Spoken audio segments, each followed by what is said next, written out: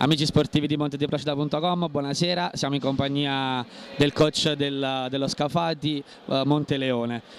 Allora coach, impresa dello Scafati che porta di nuovo Monte a gara 3. Sì, ci abbiamo creduto, i ragazzi sono stati veramente in gamba stasera, ci hanno creduto, volevano vincerla e l'hanno vinta.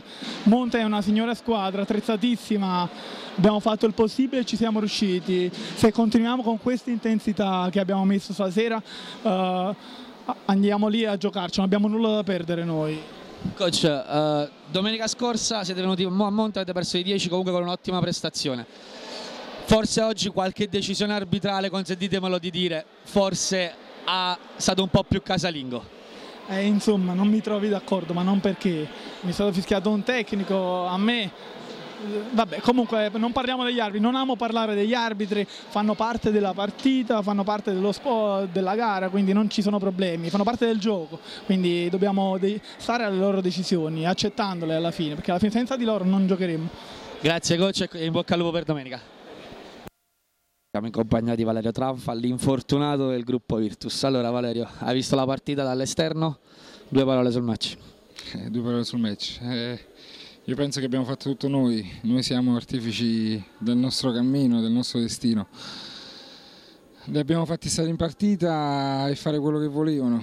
In difesa non siamo andati un granché, perché loro sono una squadra che di solito fa 60 punti, anche stasera è arrivata a 80 punti. E beh, fuori casa se non ne fai più di 80 non la vinci la partita.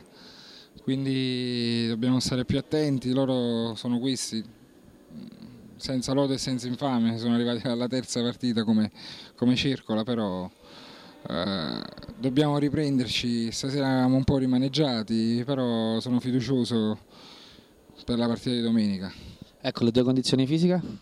Eh, le mie condizioni fisiche le dobbiamo valutare giorno per giorno, miglioro giorno per giorno, però eh, non posso fare pronostici per il rientro posso dirti di giocare come non posso giocare, ancora adesso non, non siamo convinti. Dobbiamo vedere.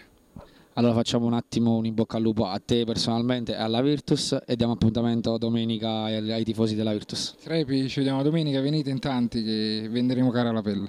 Grazie mille.